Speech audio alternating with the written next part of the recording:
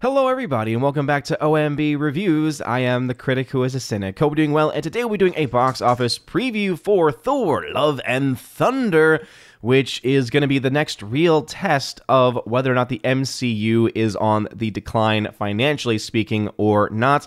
We'll also talk a little bit about the current box office for Jurassic World Dominion. I have a review up of Dominion that I was able to record and post just last night, so go check that out if you have not done so already. And so we'll talk about these films and other things as well. Before going any further, though, please make sure you smash that like button, light up that fire button if you're watching over on Odysee, and also make sure that you are subscribed to the channel with that bell notification on. That way, you know every time a new video or live stream goes live on the channel. So we got some box office preview updates here. Uh, really, a couple of smaller films are being updated with The Black Phone, which I don't really know all that much about, except that it's a horror film of sorts. It's now dropping 5% in the projections that Box Office Pro has for it, dropping to 17 to 22 million dollars in its opening weekend, whereas Elvis which is the new Bars Baz Luhrmann film. Probably mispronouncing that in some way. But anyway, the Baz Luhrmann film expected to open at 35 to 50 million dollars. And the only thing I know about that film is the creepy performance by Tom Hanks, where he says something to the effect of, We are like little children. And it's just cringy all around. so even though the performance from the lead actor looks pretty good, Tom Hanks looks like he's going to be trying to distract away in every single scene he's in.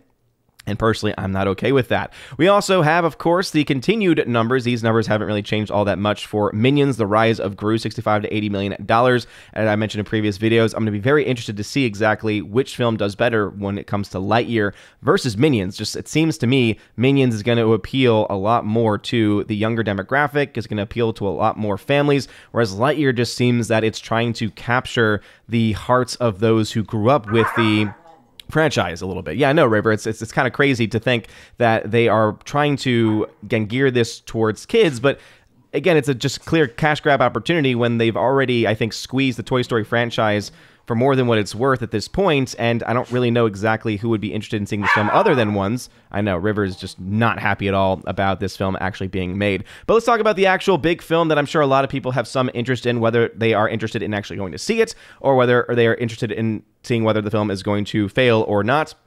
Based on these early projections, it looks like this film is not going to be a financial failure, as it is expected to open between $155 million and $205 million, with its end domestic range being somewhere between 350 and $495 million. Now, what's most interesting about these projections is when you put this up against the other Thor films. So, when it comes to the actual Thor films themselves, as you'll notice here, the opening weekend for the first Thor film, even when adjusted for inflation, was only around $76 million, whereas the second film, which was arguably terrible garbage was 96.7 million and Thor Ragnarok was 125.4 and so they are already projecting this to be the highest grossing Thor film of all time at the very least when it comes to the opening weekends. Now, is this likely going to happen? I would probably say yes. I think there is a lot of goodwill for the Thor franchise, as a lot of people did enjoy Thor Ragnarok. I know there are a lot of people that did not, because it definitely deviates away from the previous iterations of the character.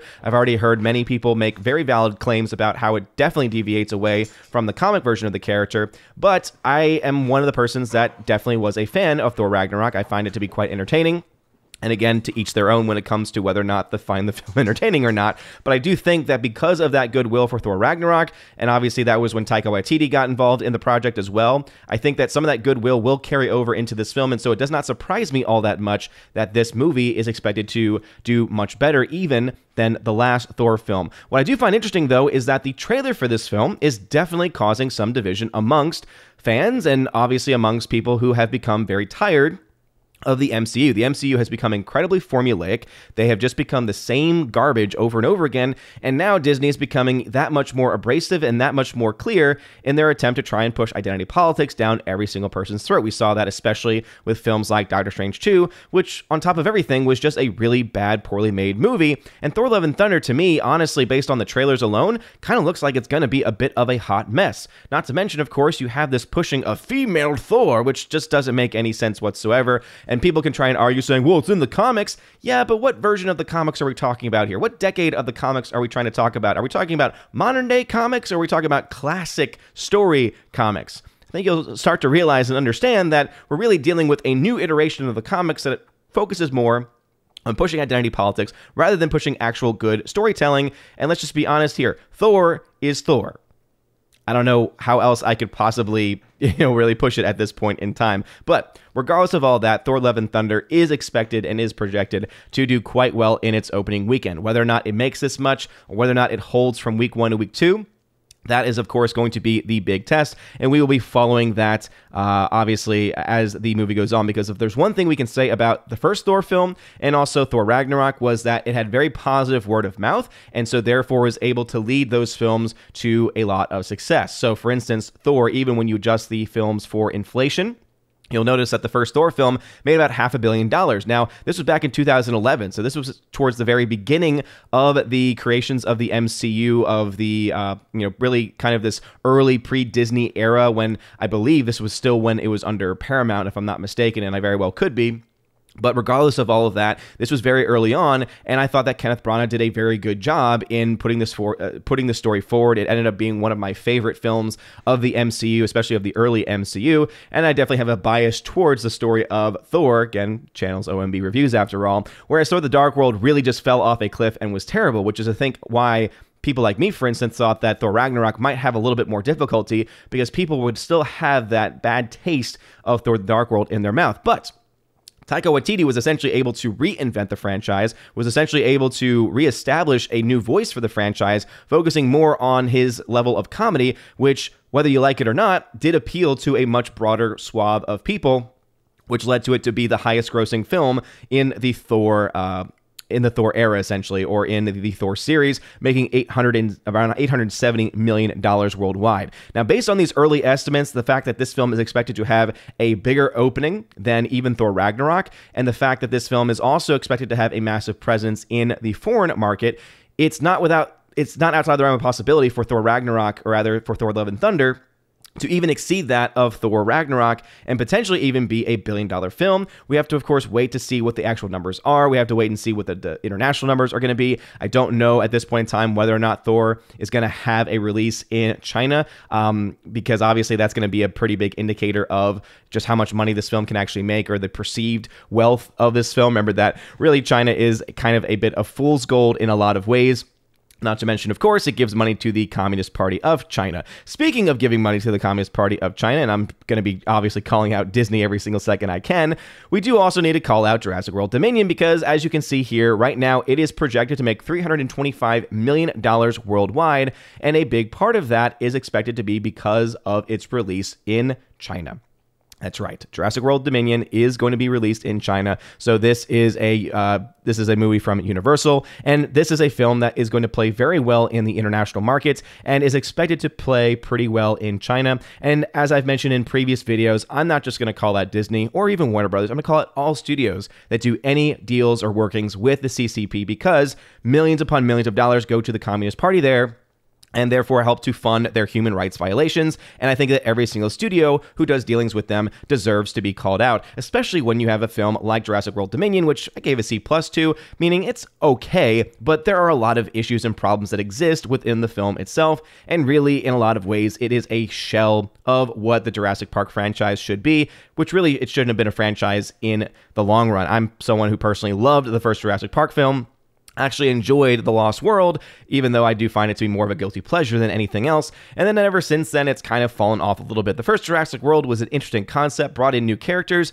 but in the end, it was just a bit of blah. And then Fallen Kingdom was trash. And this film, though better than Fallen Kingdom, is still not saying all that much. It seems that a lot of people are starting to agree with this concept of this film not being all that great, especially with that 2 hour and 26 runtime. It definitely runs a little bit long here. But as you can see from the Metacritic score, right now it's from 51 critics, generally unfavorable, though we all know critics really don't mean a whole lot of anything. So let's go ahead and look to see what the few, because there haven't been that many, um, uh, reviews from actual fans, from actual people. I believe that the reporting going on right now is that the Rotten Tomato score is in the 70s, I think, which is not all that great for an audience rating score. And you're seeing something similar here amongst the reviews that have been posted on to Metacritic, with one giving it a 10, one giving it a 5, and two giving it a 7. And I think that you're going to find that a lot of audiences are probably going to fall in that 6 to 7 category, which in the long run isn't all that good for the box office prospects. That being said, With this film expected to have a massive international presence, we'll have to wait and see one, what it does this opening weekend. They're projecting it to make 325 plus million dollars this opening weekend, where it ends up falling at the end of its second weekend, and also where Top Gun Maverick ends up falling into this discussion as well, as Top Gun Maverick is projected to have a massive hold once again. It had a record hold in its week one to week two drop. It's expected to have another record hold. I think that it's probably going to be a record hold when you add in all of the numbers together and just how it was in the 20s for its first to second week, and now it's expected to be in the 30s for its uh, uh, second, second to third week as far as the hold is concerned, which is just insane. And this film, Top Gun Maverick, is again well on the way to marching towards that billion dollar mark. Whereas even people over at Deadline are saying that Multiverse of Madness is actually charging towards a billion dollars. So interesting that they are bringing that up now at this point in time, even though they have earlier said that they expected it to cap out at 950. I do as well. Is a billion dollars still possible? Absolutely, but is it slowing down? Yes. Is uh, having films or having films like uh, Top Gun Maverick and Jurassic World Dominion flooding the market and making a lot more people interested in those films versus Multiverse? Absolutely. Especially since if I had to compare the films, Top Gun Maverick is easily the best of the list, being an A film, whereas Jurassic World Dominion is a C plus film, whereas Multiverse of Madness is kind of that D minus D film. And so I think that the box office will probably end up reflecting that in the long run. But as we all know, box office is not the arbiter of truth. It is not the arbiter of what is good or not. We know that there have been terrible films that have made over a billion dollars at the box office, even and I suspect that the likely will happen again for films like Jurassic World Dominion and potentially even for Multiverse of Madness. We'll have to, of course, wait and see what those numbers end up being by the end of their run. But those are the numbers as they currently stand. So are you excited for Jurassic World Dominion? Do you think that the film is going to be a massive hit? Do you think it's going to be the biggest of the films? For the Jurassic World franchise. But also, obviously, we're looking ahead to Thor: The Dark World. And not Thor: The Dark World. Uh, if only, if only. I almost wish we were looking forward to Thor: The Dark World at this point based on the trailers for Thor Love and Thunder, which, by the way, I don't know if anyone saw Jurassic World Dominion, but there is a trailer for Thor Love and Thunder, and it's one of the newer trailers there. And what I find interesting is that they show the sequence where I believe it's Zeus in the trailer strips uh, Thor of all of his garments and leaves him naked. And in the trailer that they released online, which received some backlash because you know of the hypocrisy of Hollywood. When it showed uh, Chris Hemsworth naked, there was a shot where it kind of panned by and showed him, and it blurred out you know his bottom area. They cut that from the trailer, so they show his chest, they show him naked and him yelling and angry, but they take away that shot showing him from behind, showing his full form, obviously with things being censored out. So interesting that they've decided to cut that. I'm wondering if it's because of the backlash they got against it, because let's just be honest, if they had done that to Jane Foster's character in the film, feminists would have been going crazy about it. And there's a clear double standard there about no problem at all, you know, sexually exploiting men, but obviously being critical of it when it comes to women in general. For me, I don't think anyone should be sexually sexually exploited, but I do think that calling out the hypocrisy is definitely important. But let me know your thoughts about that as well in the comment section down below. If this video, smash that like button, light up that fire button on Odysee. Y'all all amazing and beautiful people. Hope you all have a wonderful rest of your day. And as always, God bless.